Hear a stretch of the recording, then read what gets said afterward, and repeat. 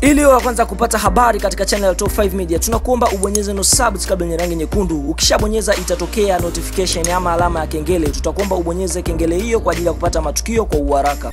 Moja kati ya matukio ambayo yana trend sana katika nchi ya Tanzania siku ya tarehe nane mwezi Aprili ni kuhusiana na ishu fulani hivi e, inayohusiana na kijana aliyetoka katika e, mashindano ya kukuza vipaji nchini Tanzania anaofahamika kwa jina la BSS. Hapa tukienda kumwongelea kijana anaofahamika kwa jina la Meshak. Meshak Amazing ndio alikuwa mshindi wa mashindano hayo. Sasa inavyosemekana kwamba kijana huyo mpaka sasa hivi hajapewa hela yake, ambapo ifahamike kwamba mshindi alikuwa anachukua kiasi cha shilingi milioni hamsini za Kitanzania, lakini yeye mwenyewe anasema kwamba mpaka sasa hivi ameambulia tu kupata shilingi milioni moja za Kitanzania. Kwa hiyo anawadai DSS kiasi cha shilingi milioni 49 na ikampelekea mpaka kwenda kwa waziri fulani pia anahusika na mambo hayo eh. Sasa baada ya kwenda kule eh, kikundi cha BSS kimepewa muda fulani hivi kwa ajili ya kumlipa kijana huyo. Basi kupitia naibu waziri Mheshimiwa Juliana Shonza mm, ametoa mwezi mmoja kwa uongozi wa kampuni ya Benchmark Production nchini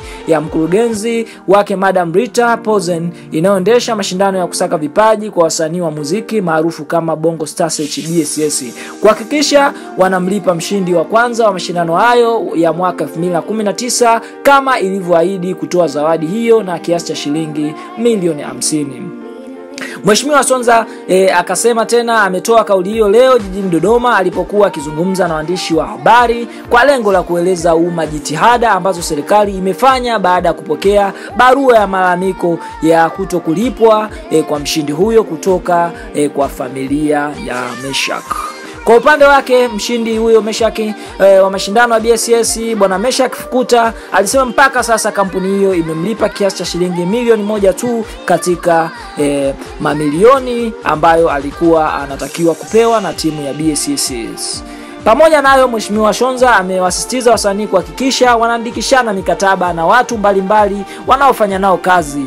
Mashindano ya BSS yalifanyika Disemba 24 mwaka 2019 jijini Dar es Salaam, na tuliona mashindano hayo yalinoga sana, lakini ndio mambo aliyojiri sasa. Meshak ameamua kuwashtaki na anawadai, anawadai kiasi cha shilingi milioni 49. Kingine, Meshak alipewa e, mkataba wa kusimamiwa mwaka mmoja kwa ajili ya kukuza kipaji chake, nacho pia kimesisitizwa kwamba inabidi hilo tukio nalo pia lifanyiwe kazi. Ndio mambo yalojiri sasa kupitoka kwa msanii huyu anaofahamika kwa jina la Meshack Amazing ama Meshack Fukuta baada ya kwenda kuwashtaki BCS kwa kuto kumlipa pesa zake e, katika ofisi ya waziri, naibu waziri. Tunachokusi tu ni udondoshe maoni yako hapo. Je, timu ya Madam Rita imefanya vizuri kwa kuto kumlipa kijana huyu? Tudondoshe maoni yako hapo. Asante kwa kutufuatilia, bye.